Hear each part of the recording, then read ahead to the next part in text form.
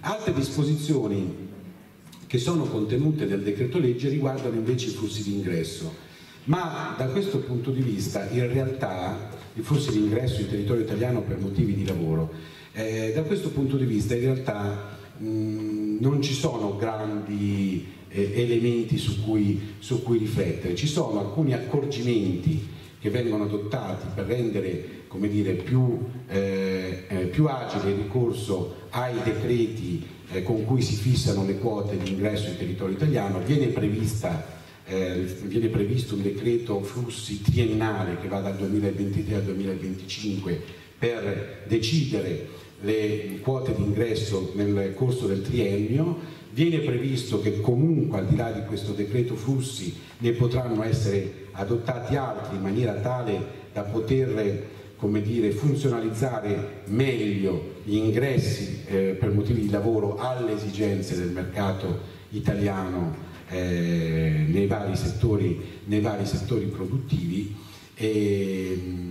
e in questa operazione di dire, semplificazione mh, fu, ottimizzazione del percorso vengono fatte, vengono alcune, vengono effettuate alcune modifiche normative che hanno delle implicazioni che dobbiamo tenere in considerazione. Eh, in primo luogo viene introdotto un nuovo articolo, l'articolo 24 bis nel testo unico in materia di immigrazione, che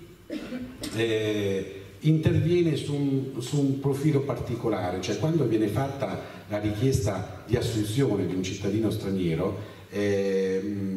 ovviamente il datore di lavoro che intende assumere il cittadino straniero deve rispondere a tutta una serie di requisiti, non devono sussistere dei, dei, dei motivi ostativi, insomma non deve avere determinate condanne, eccetera, eccetera. E oltre tutto questo deve essere un soggetto che ha la congruità per assumere il cittadino straniero, quindi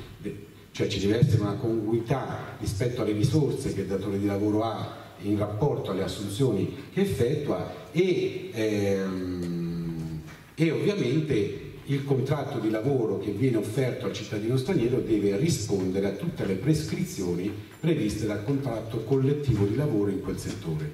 Ora i controlli sulla congruità delle richieste del datore di lavoro e sul fatto che eh, siano osservate le prescrizioni dei contratti collettivi nazionali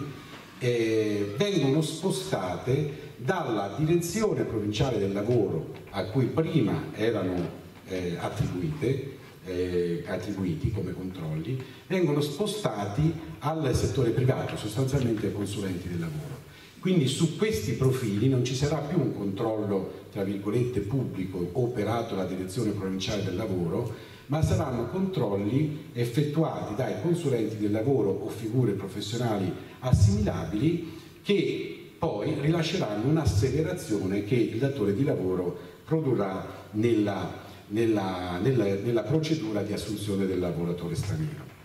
Eh, un altro profilo di modifica riguarda eh, il parere che il questore e quindi sostanzialmente l'assenso che il questore deve dare nell'ambito della procedura di assunzione del lavoratore straniero. Eh, il, la, la, questura eh, nella normativa eh, previgente eh, che cosa faceva? Effettuava tutti i controlli sulla figura del lavoratore, sulla figura del datore di lavoro, poi a un certo punto esprimeva il parere positivo affinché la procedura potesse proseguire, se non sussistevano elementi ostativi. Ora, sia per quanto riguarda il lavoro stagionale che per quanto riguarda il lavoro non stagionale, ehm, eh, con il decreto legge il parere del questore viene di fatto sostituito con una richiesta di informazioni che viene rivolta alla questura per apprendere se ci sono motivi ostativi a carico del datore di lavoro o del lavoratore. Ora, questo passaggio da parere a, ad una richiesta di informazioni è un passaggio eh, importante perché che cosa consente di fare? Consente di oltrepassare l'obbligatorietà del parere del questore, cioè con le nuove disposizioni viene chiesto al questore, agli uffici della questura, informazioni riguardo al fatto se sussistano o meno delle ragioni o degli elementi ostativi che possono bloccare l'assunzione del lavoratore straniero, ma se entro 60 giorni non provengono comunicazioni da parte della questura, il procedimento, la procedura prosegue comunque, il procedimento va a conclusione, anche se dalla questura non sono pervenute indicazioni, cosa che prima non era possibile fare perché comunque da parte della questura c'era la necessità di acquisire il parere. E, ehm, il problema però è che se poi questi elementi ostativi che possono riguardare, che ne so, appunto dicevo, dei profili ostativi a carico dei datori di lavoro, oppure viene fuori che l'asseverazione rilasciata dal consulente del lavoro non va bene perché in realtà quel datore di lavoro non ha la congruità economica per procedere all'assunzione. Cioè se questi profili ostativi vengono fuori successivamente, quindi dopo che il lavoratore è entrato in territorio italiano, è stato assunto e quant'altro, il fatto che emergano successivamente questi profili ostativi comporta la revoca del nulla osta che è stato già dato, del visto che è stato eventualmente già dato e del permesso di soggiorno che è stato eventualmente già dato. E questo senza fare nessuna distinzione riguardo alle responsabilità in rapporto ai motivi ostativi. Cioè se a un certo punto il datore di lavoro assume un soggetto senza averne la capacità economica prevista dalla legge, oppure se viene fuori che il datore di lavoro aveva delle condanne ostative e quindi non poteva assumere quel lavoratore, eh, il lavoratore cosa c'entra? Cioè il lavoratore una volta che è entrato in territorio italiano ha preso il permesso di soggiorno, casomai adotti delle sanzioni rispetto al datore di lavoro, ma non puoi adottare una, prevedere una reazione che cancella il percorso del lavoratore in territorio italiano fino al punto di dire guarda, ascolta, abbiamo scoperto che il tuo datore di lavoro ha una condanna e, oppure non aveva sufficienti risorse economiche, ci dispiace ma te ne torni al tuo paese. Eh, mi sembra una cosa veramente, eh, veramente, veramente incredibile, però ad oggi è prevista in questa forma.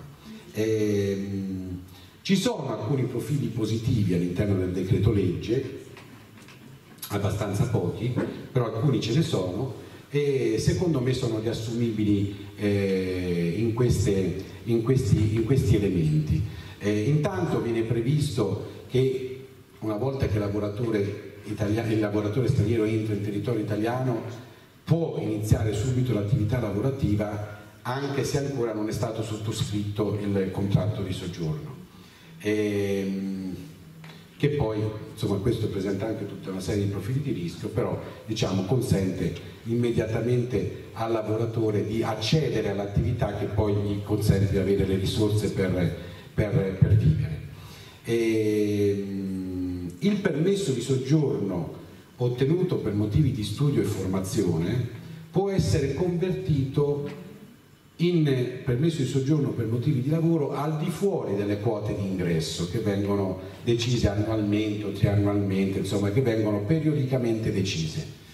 Eh, nella disciplina previgente chi si trovava in territorio italiano con un permesso di soggiorno per motivi di studio o formazione poteva convertire il permesso di soggiorno, ma nell'ambito delle quote di ingresso per motivi di lavoro che venivano decise con i decreti flussi e questo rendeva tutto estremamente difficile.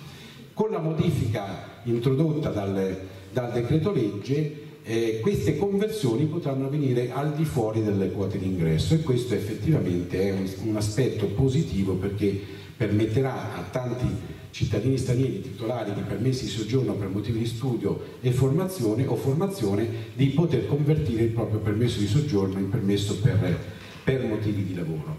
Un altro profilo positivo riguarda la durata di alcune tipologie di permesso di soggiorno, in particolare il permesso di soggiorno rilasciato per lavoro eh, subordinato a tempo indeterminato, per lavoro autonomo e per motivi familiari. Tutti que questi, questi, permessi di soggiorno, tutte e tre le tipologie di permesso di soggiorno, prevedono una durata massima del permesso di soggiorno di due anni nella, nella disciplina previgente. Con la modifica introdotta dal decreto legge eh, permane la durata di due anni per il primo rilascio, cioè quando tu arrivi in territorio italiano, chiedi il permesso di soggiorno e ti viene rilasciato, ti può essere rilasciato per un massimo, per una durata massima di due anni. Poi però al, al rinnovo questa durata può essere estesa e eh, arrivare al, al massimo di tre anni. Quindi primo rilascio durata di due anni e rinnovo invece per tre anni. Quindi il rinnovo diventa triennale. E questo è importante intanto perché non costringe il titolare del permesso di soggiorno per lavoro subordinato indeterminato autonomo o familiare o per motivi familiari a dover con una certa frequenza provvedere al rinnovo del permesso di soggiorno perché così si allungano un po' i tempi del rinnovo. Ma tra l'altro c'è un altro effetto positivo, e cioè che sommando il primo, cioè il primo rilascio che è della durata di due anni con il primo rinnovo che è della durata di tre anni, arriviamo a una durata del soggiorno di 5 anni e quindi già dopo il primo rinnovo avresti la possibilità di accedere al permesso di soggiorno per lungo soggiornanti che prevede appunto un soggiorno almeno di 5 anni e, e questa è, è un'utilità importante.